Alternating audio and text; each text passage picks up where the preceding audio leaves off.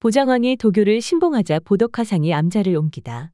편 시작하겠습니다. 삼국유사 제3권 흥법 제3에 나오는 내용이다. 고구려 본기에는 이러한 기록이 있다. 고구려 말년인 무덕정관 연간 서기 618에서 649에 나라 사람들이 오두미교를 다투어 신봉하자 당나라 고조가 이 소문을 듣고 도사를 시켜 천존상을 보내왔다. 도사가 도덕경을 강론하자 왕과 나라 사람들이 들었는데 즉 제27대 영유왕 이 왕위에 오른 지 7년인 무덕 7년 갑신 서기 624이었다. 그 다음 해에 당나라에 사신을 보내어 불교와 도교를 배우겠다고 청하자 당나라 황제 고조를 말한다. 가 이를 허락하였다. 보장왕 이왕위에 오르자 정관 16년 이민 서기 642이다. 유불도 삼교를 함께 일으키려고 하였는데 당시 총애받던 재상 개소문 이 왕을 설득하기를 유학과 불교는 함께 번성하고 있지만 도교는 아직 그렇지 못하니 특별히 당나라에 사신을 보내어 도교를 구해야 합니다. 라고 하였다. 그 당시 보덕화상 이 반용사에 있었는데 좌도인 도교가 정도인 불교에 필적하면 국군이 위태로워질 것이라 염려하여서 여러 차례 왕에게 간하였지만 들어주지 않았다. 그래서 신통력으로 암자를 날려 남쪽 안산주 지금의 전주이다. 고대산으로 옮기고 거기에 머물렀다. 이때가 영의원년 경술서기 652 6월이다. 또 본전에서는 건봉 2년 정묘서기 667 3월 3일이라고 하였다. 그런데 이러한 일이 있은 지 얼마 되지 않아서 나라가 멸망하였다. 총장 원년 무진서기 668에 나라가 멸망하였으니 경술년부터 19년이다. 지금 경복사에는 날아온 남자가 있는데 바로 이것이라고 한다. 이상은 국사에 실려 있다. 진락공 이자현 이 시를 지어당에 남겨두었고 문열공 김부식 이 전기를 지어서 세상에 전하였다. 또 당서에는 이렇게 기록되어 있다. 이에 앞서 수나라 양제가 요동을 칠 때에 비장 양명 이 전쟁에 불리해지자 죽으면서 맹세하여 말하기를 반드시 총애받는 신하가 되어서 저 나라를 멸망시키리라. 라고 하였다. 그런데 개시 가권력을 잡자 게르시로 삼았으니 곧 양과 명이 합해진 글자였다. 또 고려고기에는 이러한 기록이 있다. 수나라 양제가 대업 8년 임신서기 612에 30만 군사를 거느리고 바다를 건너서 쳐들어왔다. 10년 갑술 서기 614 10월에는 고려왕 당시는 제25대 영양왕 이 왕위에 오른 지 25년째 되는 해이다. 이 글을 올려 항복을 청하였다. 그때 어떤 한 사람이 작은 활을 품에 숨겨 사신을 따라 양제가 있는 배 안으로 들어갔다. 양제가 고려의 국서를 읽고 있는데 활을 쏘아 양제의 가슴을 맞추었다. 양제가 군사를 돌리며 주변 신하들에게 말하였다.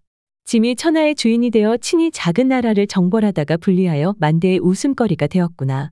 그러자 우상양명 이하려었다. 신이 죽으면 고구려의 대신이 되어 반드시 그 나라를 멸망시켜서 폐하의 원수를 갚겠습니다. 양제가 죽은 뒤에 양명이 고구려에서 태어났는데 15세가 되자 총명하고도 신기한 무용이 있었다. 당시의 무양왕 이 그가 현명하다는 말을 듣고 국사에서는 영유왕의 이름을 건무 혹은 건성이라고 했는데 여기서는 양무라고 했으니 자세한 것은 알 수 없다. 불러서 신하로 삼았다. 그는 자신의 성을 계시라 하고 이름을 금이라고 하였다. 지위가 소문에까지 이르렀는데 이것은 바로 시중의벼슬이다. 당서에서는 개소문이 스스로 막리지라 불렀으니 중국의 중서령과 같다고 하였다. 또 신지의 비사설을 보면 소문 대영웅 이 서문을 쓰고 줄을 달았다. 라고 하였다. 그렇다면 소문이 바로 벼슬 이름이라는 것이 문헌으로 증명된다. 그런데 전에서는 문인 소영웅이 설을 썼다고 하니 어느 것이 옳은지 모르겠다. 계금 이왕에게 아뢰었다. 소태 세 개의 발이 있는 것처럼 나라에도 세 가지 종교가 있어야 합니다. 그런데 신이 나라 안을 보건대 오직 유교와 불교만이 있고 도교가 없습니다. 그렇기 때문에 나라가 위태로운 것입니다. 왕은 이 말을 옳다고 여기고는 당나라의 도교를 청하였다. 당태종은 서달 등 도사 8명을 보내주었다. 국사에서는 무덕 8년 의류서기 625에 사신을 당나라에 보내 불교와 도교를 구하였더니 당황제가 허락하였다. 라고 하였다. 이 기록에 의한다면 양명은 갑술년 서기 614에 죽었다가 고구려에서 태어났다고 했는데 나이가 겨우 10여 세에 총애받는 재상이 되어서 왕을 설득하여 사신을 보내 도교를 청했다는 것으로 볼 때 어느 한쪽의 날짜를 잘못 기록했을 것이다. 지금 둘 다 기록해둔다. 왕이 기뻐하며 저를 도교의 도관으로 만들고 도사를 높여 유학의 선비 위에 앉게 하였다. 도사들은 돌아다니며 나라 안에 유명한 산천을 진압하였다. 그리고 옛 평양성의 지세가 신월성, 반월성이라 하여 도사들이 주문을 외워 남아의 용에게 명령하여 성을 중축하게 하여 만월성을 만들었다. 그래서 이름을 용원성이라 하였다. 또 예언서를 만들어서 용원도 또는 천년보장도라고 하였다. 혹 영석세간에서는 도제암 또는 조천석이라고도 한다. 옛날 동명성제가 이 돌을 타고 상제에게 올라가 조회했기 때문이다. 을 파내어 깨뜨리기도 하였다. 계금은 또왕에게 아래어 긴 성을 동북쪽과 서남쪽에 쌓도록 하였는데 이때 남자들은 성을 쌓으러 나가고 여자들은 농사를 지었으니 무려 16년이 지나서야 끝났다. 보장왕의 시대에 이르러 당나라 태종이 직접 육군을 거느리고 쳐들어왔지만 또 분리하여서 돌아갔다.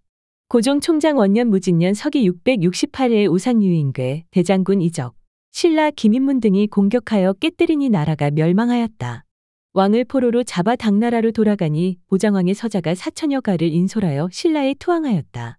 국사와 조금 다르기 때문에 아울러 기록해둔다. 대안 8년 신미석이 1092에 우세승통 의천 이 고대산 경복사의 비례방장 애가서 보덕성사의 영정에 예를 올리고 다음과 같은 시를 지었다. 열반의 대승 가르침은 우리 스승으로부터 전수받았다고 하네. 애석하도다 승방을 날려온 후에 동명왕의 옛 나라가 위태로워졌구나. 그 발문에 이러한 말이 있다. 고구려 보장왕이 도교에 현혹되어 불법을 믿지 않았으므로 보덕법사는 곧 승방을 날려 남쪽으로 이 산에 이르렀다. 그 후에 신령스러운 사람이 고구려 마령에 나타나서 사람들에게 고하기를 너희 나라가 패망할 날이 얼마 남지 않았다. 라고 하였다. 이것은 다 국사와 같고 그 나머지는 본전과 승전에 실려 있다. 법사에게는 뛰어난 제자 11명이 있었다.